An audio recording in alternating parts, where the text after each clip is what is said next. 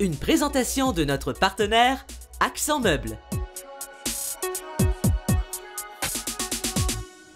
Bienvenue à Connecté Matane pour cette dernière du mois de mai. Le temps file rapidement. Fin du mois de mai, ça veut dire qu'on est au bord de l'été, mais l'été sera différent cette année. Et à Matane, notamment, on a pensé recréer un été pour permettre aux gens de s'amuser, un été différent qui va nous permettre quand même de profiter de la chaleur et du soleil. Pour nous parler justement de cet été particulier, nous accueillons l'agente de développement Joanie Chouinard qui travaille pour le service des loisirs, de la culture de la vie communautaire de la ville de Matane. Bonjour. Joanie, merci d'être là, c'est un plaisir. Oui, un été particulier.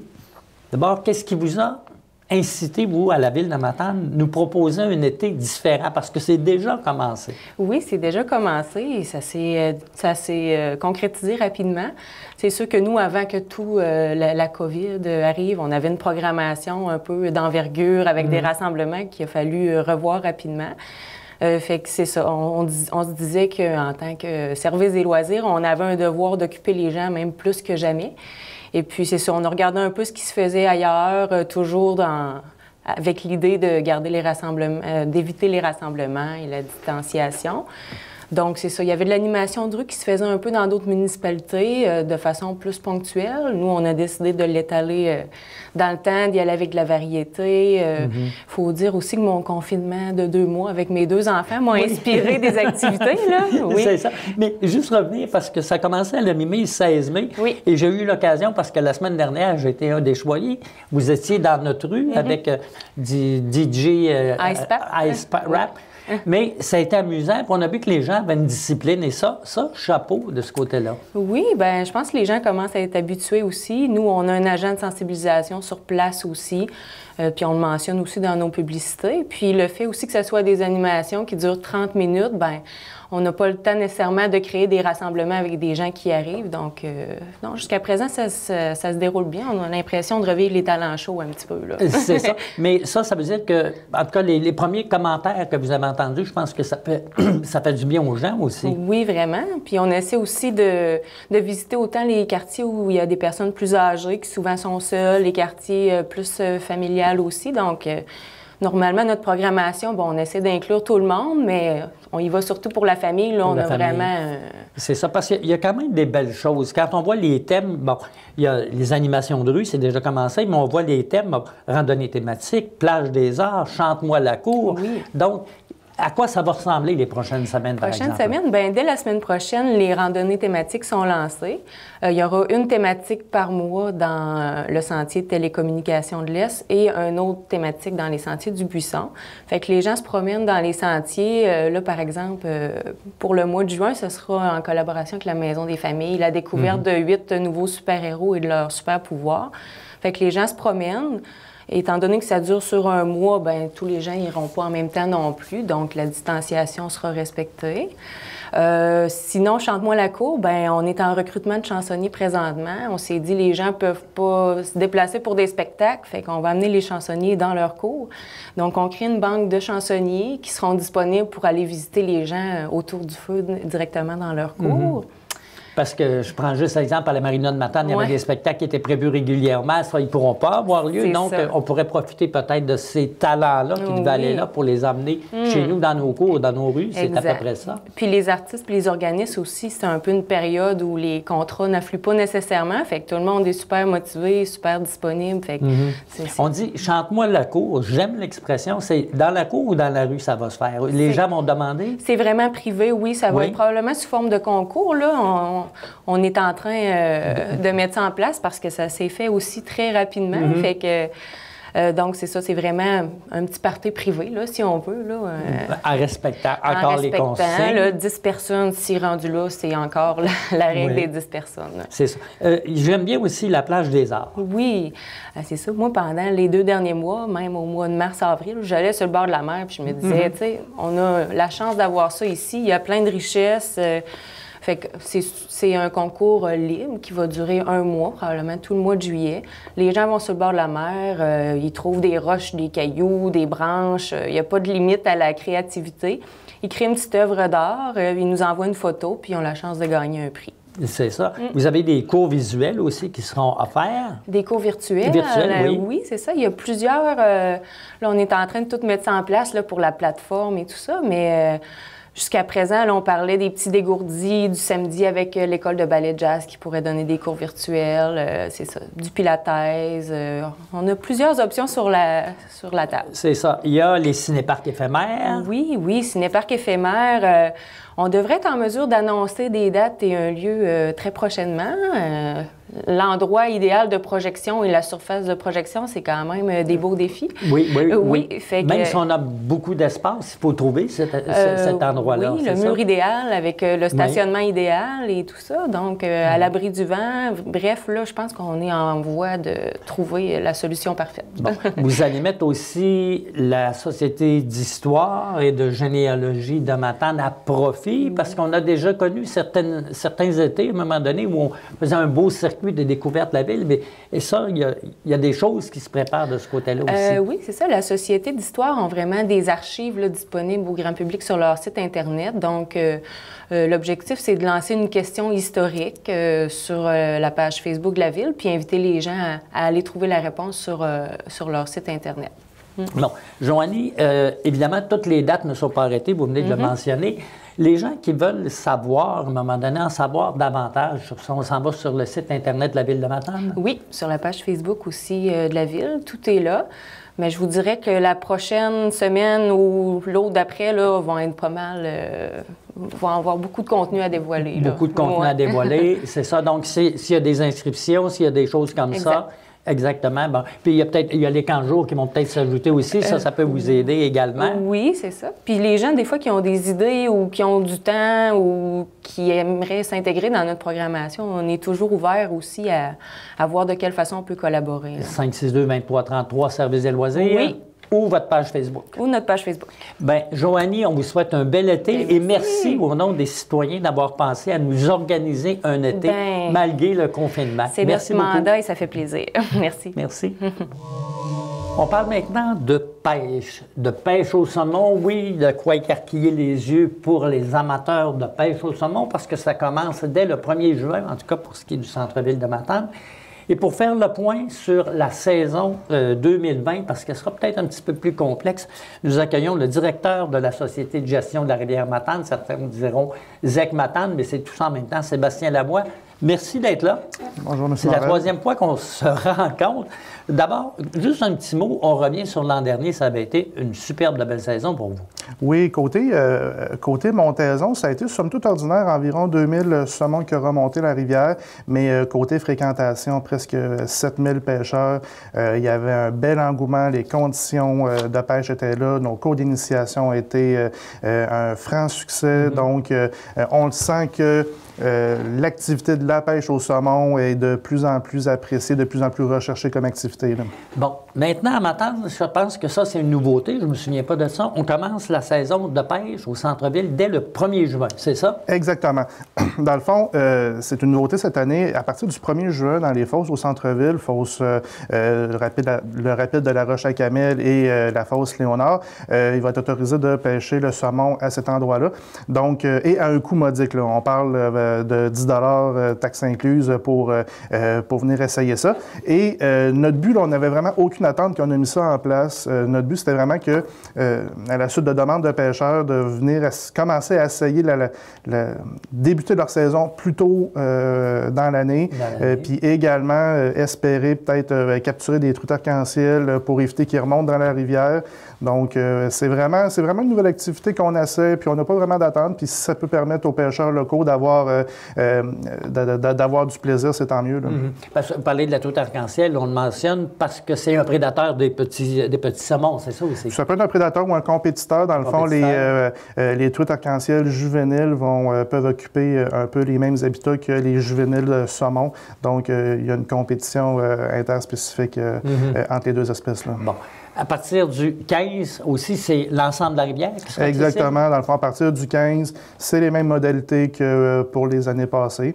Et euh, une autre nouveauté qu'on va avoir également, qu'on va avoir sûrement l'occasion de s'en parler euh, plus tard dans la saison, c'est qu'il va y avoir une pêche automnale encore là au centre-ville. Donc, entre le 1er octobre et le 31 octobre, ça va être possible de pêcher la truite arc-en-ciel seulement au centre-ville de Matane. Oh, ça, c'est une belle nouveauté. On aura l'occasion de s'en reparler. On vous garde pour l'automne déjà pour en parler. Bon, maintenant, si on va pêcher, il y a des normes, évidemment. Il faut vivre avec euh, le virus qui est autour. Comment ça va fonctionner? Il y a sûrement des consignes à donner mhm. pour les réservations, la pêche, etc., le matériel. Si on regardait les consignes. Bon, premièrement, ce qui est intéressant pour la rivière Matane, c'est qu'on a environ 40% de notre clientèle qui provient de l'Est du Québec, donc Bas-Saint-Laurent, Gaspésie. Donc, pour ces pêcheurs-là, euh, euh, c'est quand même des pêcheurs locaux, des pêcheurs de la région. L'autre 60% provient de l'extérieur. Donc, ces gens-là qui viennent, euh, c'est clair, puis même pour nos, pêcheurs locaux, nous, ce qu'on demande, c'est ça, c'est de respecter euh, les consignes de la santé publique, euh, de respecter la distanciation sociale, mm-hmm. d'éviter les... De, respecter les normes par rapport à... par rapport au rassemblement, d'éviter de se prêter de l'équipement, lavage des mains fréquent, également pour euh, l'achat de droits d'accès ou pour l'enregistrement de capture. Euh, les pêcheurs peuvent passer par nos services en ligne sur notre site web au euh, rivièrematane.com ou tout simplement nous téléphoner 562-0000 pour qu'on puisse préparer leur droit d'accès à distance. Donc, côté distanciation physique, le pêcheur est quand même, peut quand même éviter tout contact. Est-ce que les pêcheurs ont le droit de garder leur, leur? Euh, ben, dans le fond, c'est euh, les mêmes modalités que euh, les autres années. les grands saumons, c'est remise à l'eau obligatoire mm-hmm. jusqu'au décompte demi-saison, qui est au 1er août. Au 1er août, si les cibles de gestion demi-saison sont en voie d'être atteintes, là, le ministère de la Faune pourrait nous autoriser à conserver les grands saumons.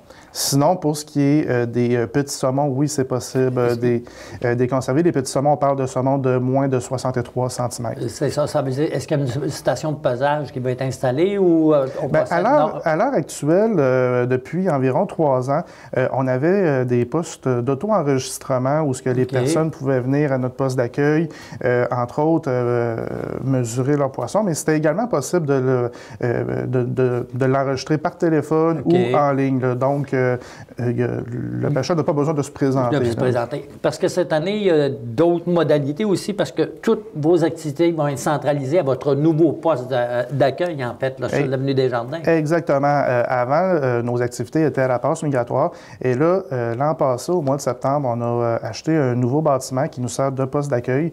donc, l'ensemble de nos activités vont être centralisées là. Donc, enregistrement de captures si les personnes veulent se déplacer, euh, nos bureaux administratifs, euh, l'accueil pour les pêcheurs, et même qu'on a aménagé euh, une petite section à l'intérieur de notre poste d'accueil qui va nous servir de boutique de pêche pour vendre de, l'équipement, du matériel, matériel de pêche, matériel de montage de mouches. Donc, on, vient, on vient répondre à un service qui était demandé pour les pêcheurs. Bon, pour ce qui est de la passe migratoire, il arrive quoi cet été?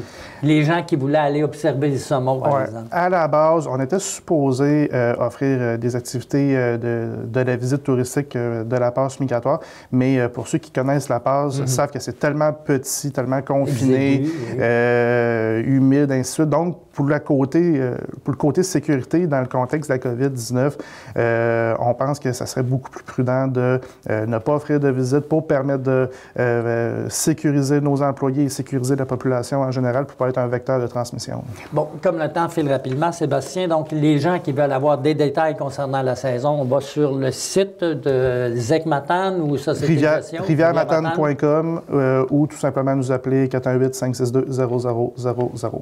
Et on peut tout faire les réservations en ligne. Exactement.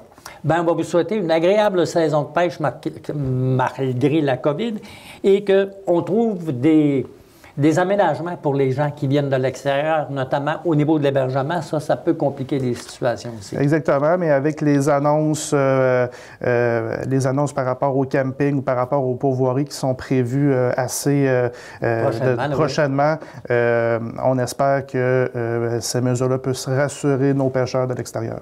Merci beaucoup. Bonne saison. Merci. On poursuit Connecté Matane, mais on va se déplacer un petit peu vers l'est de la Matanie. On va aller du côté de Sainte-Félicité parce qu'il y a des gens qui sont très actifs. C'est le comité de loisirs ou le comité de loisirs ou loisirs Sainte-Félicité pour être exact. Et pour nous en parler, nous accueillons sa présidente, Madame Annick Carrier. Annick Carrier, merci d'être à Connecté Matane. Ça fait plaisir. Juste vous demander, comme je demande depuis déjà quelque temps, comment ça se passe à Sainte-Félicité avec euh, la COVID qui circule toujours, bien, qui circule, veut dire où on est confiné et tout ça? C'est partout pareil. On a, on a été obligé de faire beaucoup de, de, changements, d'annuler des événements aussi qu'on avait prévus. Euh, on essaye de s'ajuster. Euh, c'est sûr que c'est moins gros comme événement qu'on mhm. est capable de faire. C'est plus des choses qu'on passe par euh, notre euh, Facebook des loisirs, qu'on essaye de rester actif là-dessus. On fait des petites activités, des petits mhm. concours là-dessus pour garder notre monde un peu actif. Actif, c'est ça. Bon, on va revenir euh, au départ de l'organisation. Comment c'est né? Pourquoi c'est né à Sainte-Félicité, votre organisation? C'était déjà, le comité des loisirs était déjà formé. nous, en septembre, je dis nous parce qu'on était quatre dans le fond, à aller à, la réunion. Puis, on voulait s'impliquer. À la base, euh, moi, c'était pour le camp de jour. Euh, je voulais y aller pour donner un aide au camp de jour. Puis j'ai des amis à moi aussi qui étaient à la réunion. Puis on s'est regardé pour on a dit on embarque dessus, on, on y va-tu essayer de donner un plus à tout ça pour essayer d'aider ceux-là qui étaient déjà là? Euh, bon, par la force des choses, euh, certains ont, quitté. Euh, nous, on est demeurés, puis même une autre personne aussi qui est embarquée par mhm. après. Euh, donc, euh, le, le, but de tout ça, c'était de, de, de, refaire des événements. On essaye d'y aller en, en, On essayait, avant le COVID, d'y aller avec au moins un événement par mois pour euh, rendre le village plus égayé. on a commencé assez fort avec le, le, le, projet de faire la patinoire. Moi, ça, ça a été un beau projet. Puis c'est intéressant d'en parler parce que ça a été vraiment toute une orchestration de faire ça. Oui, on est parti d'une idée d'une corvée de village. On s'est dit, écoute, pourquoi, qu'on ne serait pas capable, nous autres aussi, d'y aller avec euh, du monde bénévole, euh, euh, d'acheter nos matériaux, on a plein de monde là, qui, était, euh, qui était capable de, de, faire la construction là, dans notre village. Fait qu'on mhm. est allé les chercher, puis ils ont tous accepté. Euh, du monde magnifique, là. Euh, ils ont tous mis main à la pente. du monde qui a embarqué. Certains venaient donner une heure, certains venaient donner toutes les journées. ça a vraiment bien été. On a été capable de la construire. On a été chercher une subvention aussi qui nous a aidés. En bout de ligne, ça a coûté très peu, de, faire euh, la patinoire, oui. Et ça a été une belle motivation pour l'ensemble du village parce que cette année, on l'a vu, il y avait des bandes autour de votre patinoire. L'an dernier, c'était, comme on dit, des bandes de neige qui étaient là, qui servaient. Ça, c'était moins motivant. Mais ceux qui ont pas en profiter, bien, ça a été un gros plus pour la municipalité cette année. Oui, ça a bien fonctionné. Le monde était content cet hiver. Il y a eu beaucoup de, personnes qui sont venues. Euh, on était à la recherche de quelqu'un à temps plein pour euh, rouvrir le centre sportif, ce qui était un peu plus difficile. On n'a pas réussi à trouver la personne encore. Mais euh, c'est un but, euh, c'est un but qu'on a, là, de trouver quelqu'un qui pourrait ouvrir, dans le fond, euh, le centre sportif. pratiquement l'année, si ce serait mhm. possible.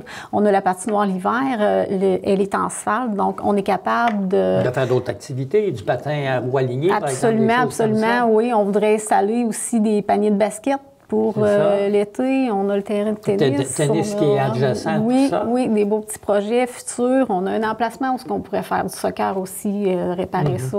Tous des projets à venir. Bon, on en parle parce que le tennis est permis. Est-ce que les gens ont commencé à jouer ou on va travailler dessus? Oui. Oui, nos adeptes ont déjà commencé, oui.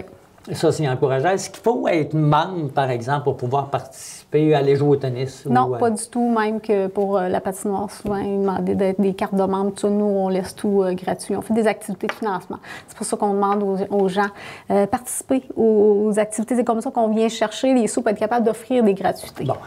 il y a des choses, vous en avez parlé au départ. vous avez dit cinq, personnes. Quelles, sont-elles, les personnes avec vous qui travaillent sur le comité? Oui, ben, il y a moi qui est présidente. Ensuite, j'ai Christine Pelletier, qui est secrétaire. J'ai euh, Nadia Letourneau, qui est trésorière. Et euh, Jessie Côté-Bernier, qui est vice-présidente. Et euh, on a aussi Joanne Deschaines qui se trouve être euh, dans OK, le... donc des gens qui croient à la collectivité, encore une fois. Oui. Là, il y a des choses, on voyait tout, euh, tout récemment dans le petit journal de Sainte-Félicité, parce que ça, c'est un autre outil que vous avez chez vous dans votre municipalité. On parlait d'un camp de jour possible. Là, le gouvernement a donné la possibilité d'avoir des camps de jour. Comment ça se présente chez vous? Est-ce qu'il y aura un camp de jour? Qu'est-ce qu'on peut faire si les jeunes veulent s'inscrire? On est à, na- à l'analyse de, de- de cette offre-là. Dans le fond, là, ce qu'il faut savoir, c'est si on a les subventions salariales, parce qu'on est quand même juste un, un- un orga- un- un organisme à, but non lucratif. Donc, euh, il faut essayer d'aller chercher des sous un peu partout. Euh, on sait que la main-d'œuvre va coûter beaucoup plus cher cette année à ce niveau-là. Ça va prendre plus de main-d'œuvre aussi. Euh, donc, on est à essayer d'analyser tout ça, voir si on a les subventions salariales, puis à la suite de ça aussi, il faut euh, être capable de recruter. C'est ça, recruter, parce que là, c'est le personnel. Il y a des jeunes qui profitent de certaines générosités du gouvernement, donc peut-être un petit peu moins intéressés. Puis dans, un, dans une municipalité comme chez vous, il y a moins de jeunes aussi disponibles, c'est ça? Oui, c'est en plein ça. Donc, on va essayer de, de promouvoir ça. On est à, justement cette, cette semaine, on va se rencontrer, puis on va, on va faire cette analyse. Je sais qu'il y a des organismes, entre autres, je pense à la SADC qui peut aider les organismes à but non lucratif. C'est peut-être un petit tuyau qu'on vous refile comme ça. Oui. Bon, les jeunes qui voudraient ou les parents inscrire leurs enfants au camp de jour, qui est toujours possible, on procède comment?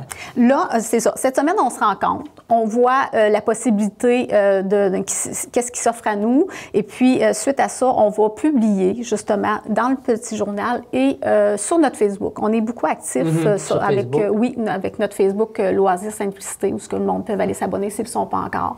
Et puis, on va donner des nouvelles là-dessus là, pour la période d'inscription, là, pour voir combien de personnes et combien de main-d'œuvre qu'on va avoir besoin aussi. Bien, Annick, merci d'avoir été là. On vous souhaite la meilleure des chances et surtout que le déconfinement ne nuise pas trop à ceux qui veulent quand même encore un peu s'amuser en respectant les règles. Merci Oui. beaucoup. Merci à vous.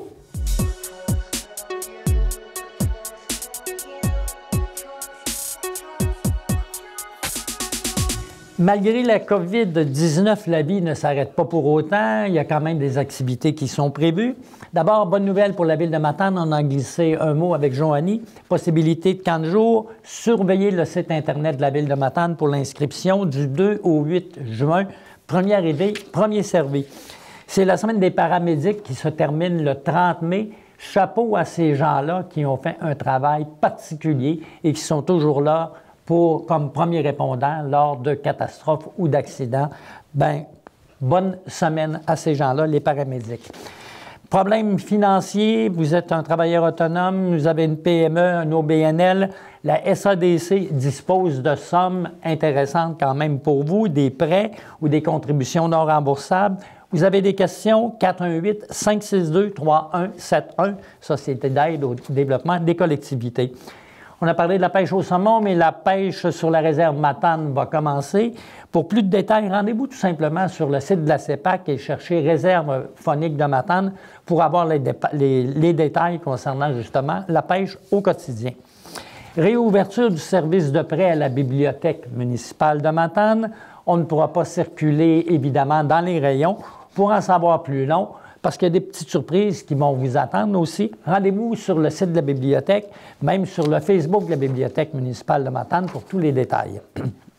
Les amateurs de VTT ou de quad et de motocross, bien, c'est ma- maintenant permis de pratiquer votre activité. On en parlera justement la semaine prochaine avec tous les détails, mais si vous allez dans les sentiers, soyez doublement prudents et respectez les consignes sanitaires du gouvernement du Québec.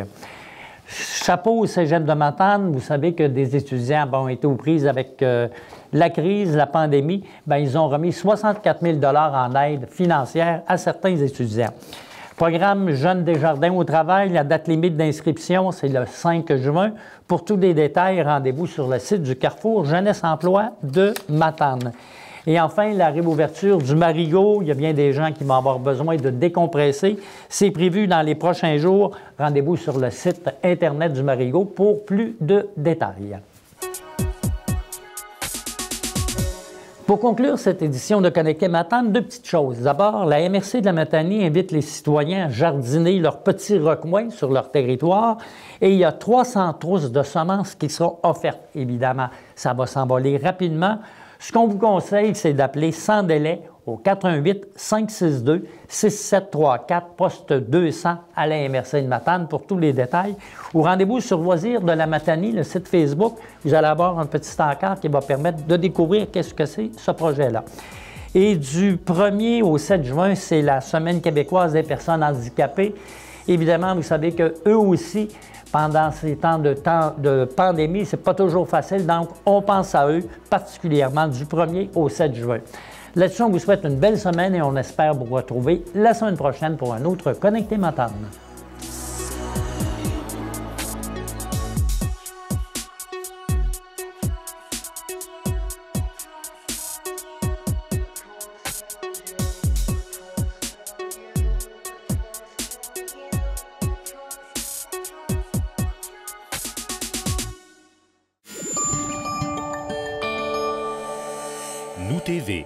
De faire rayonner notre communauté.